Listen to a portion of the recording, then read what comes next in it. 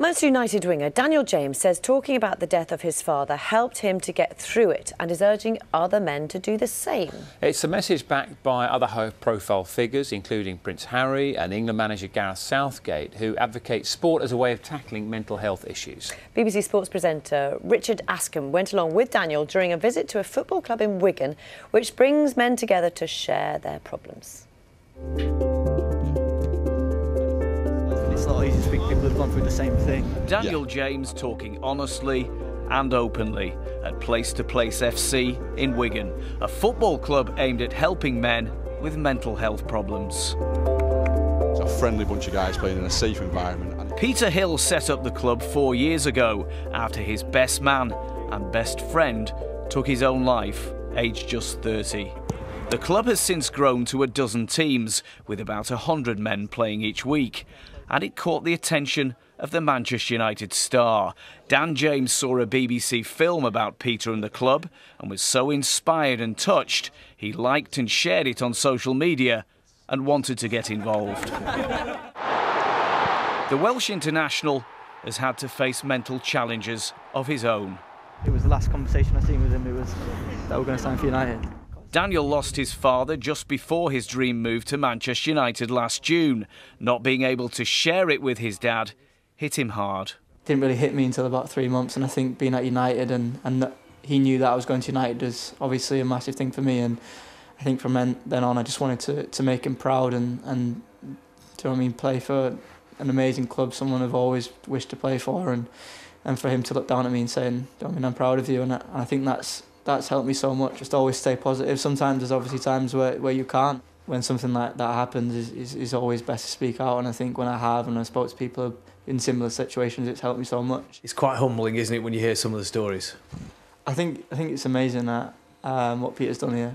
I think obviously they got the football aspect, but in the in, in intervals and stuff like that, they speak to each other and, and they, they share different stories, which is, is fantastic. You hold it there like. Dan spent about three hours chatting to everyone and hearing their stories. Some were tough to listen to. How are you getting on? Callum Evans was badly injured in a motorcycle accident four years ago. He nearly died and has found it very hard psychologically to put it behind him. Some days I thought, what's the point? You know, um, but I'm here. That's all that matters. It definitely is, and I noticed you were chatting to Dan James for, yeah. for some time. What, what was it like to meet to meet him, and what did he say to you? Oh, it was surreal. Um, he was, I think, he was quite touched by by the story. He said, you know, I've done, I've done well to come this far and playing football and stuff like that. And he just said, just keep going, do what I'm doing now. Getting the message out there to, to speak out is, is huge and I think you, you can be the brightest person in the room but people never know what's going on really going on inside and the hardest thing obviously is, is to speak out and uh, I think Peter and me myself is, is, is trying to encourage people to, to be able to speak out and speak to others and don't be afraid to do that. Richard Askham, BBC News. Some really powerful testimonies it's there, wonderful. It's it's wonderful. And Peter Hill, who set up that club a few years ago after his best friend took his own life, is here. Peter, good work. Wow. Um, just hearing, you know, from so many of the young men there, Callum, for example, you you changing people's lives doing this. Where did, where was the inspiration from? Uh, well, unfortunately, it was it was uh, a negative that we tried to turn into a positive a few years ago, where yeah. I lost my best friend to, to suicide, and it started a bit of a, a stem of suicides in in that family as well, kind of three in three years. So at that time, a lot of people kept saying to us the same kind of things. That there's nothing you could have done. There's nothing you can do about these things, and it just didn't kind of sit with me that that was the, the answer really. So um, it started with a memorial cycle that developed into into what we have now, a, football club. Um, and just tell us a bit, because it seems, you know, an amazing place to go to. It's about the football, but it's also about chatting as well.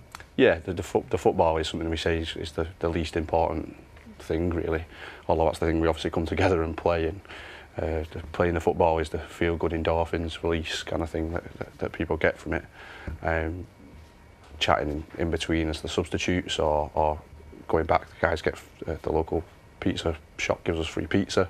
So the guys after the game have a bit of pizza, a slice, a drink and a chat about their week. Sometimes that's nothing particular, mm. but other times that when people have, have lost folk around them, parents, what have you, it can be really crucial. Like, you know. It seems like having a, an amazing impact. How's it gone down with other teams that you play? Because you, you, know, you know what sport any level is like. If people perceive a weakness, then they tend to, you know, they tend to go at that, don't they? I mean, it's straight. Uh, uh, generally, we're playing each each other uh, each week, um, and there's a couple of friendlies that we organise outside of that. Uh, but it's quite surprising really that people actually want to get involved. Uh, they're kind of almost queuing up to, to play us really, uh, and people are kind of giving us the message we've been waiting for, for, for for somebody to do something like this. And to get um, a visit from uh, Daniel James from Manchester United, you could see uh, the reaction it had from yourself and, and everyone else who was down there. How much of a of a positive has that had a, a sort of lasting effect, I would imagine, as well? It, it's massive. The, the platform that these guys have is, is huge, and, and to see someone like Daniel, a first team Man United player, even recognising what what we do, kind of thing, is is, is crazy.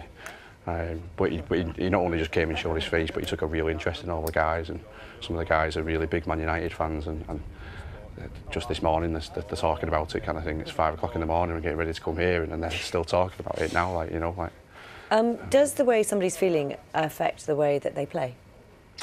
Some, sometimes we, we say that uh, we ask people to, to bear in mind that if they see poor behaviour, for example, uh, or somebody reacting a little bit different, that might be a big indicator that they're, they're struggling with something in particular.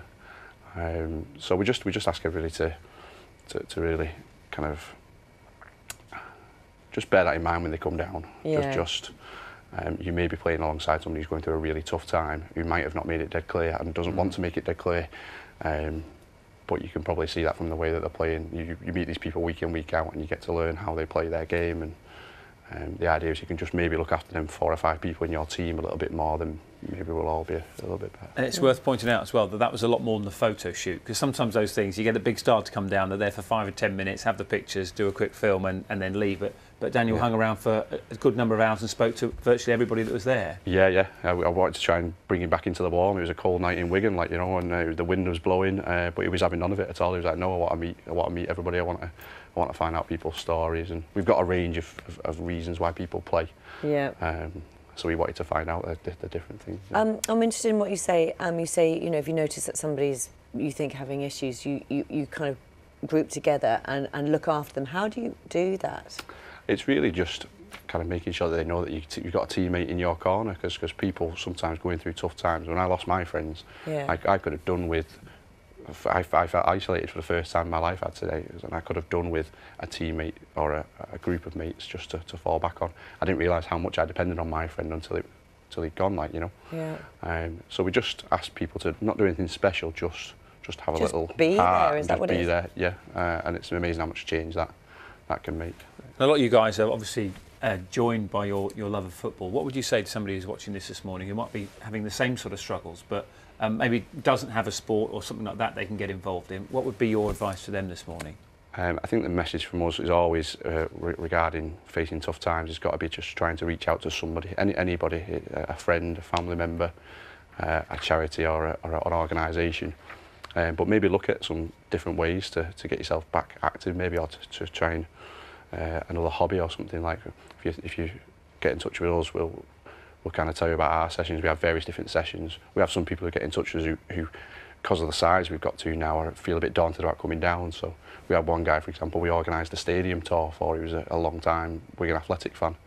Um, so he's not come down in the end to the football club, but just by making a connection and seeing an original Northwest Tonight story, he's got in touch with us, and we've been able to provide him a bit of a, a bit of a memory with his family that's open, hopefully brightened his week a little bit. Like you know. You're clearly making a difference. Fingers crossed. thank you so much, uh, Peter you. Hill. Thank you very much for coming thank to talk you. to us. Lovely to meet you. Thank you so much for coming on this morning. Uh,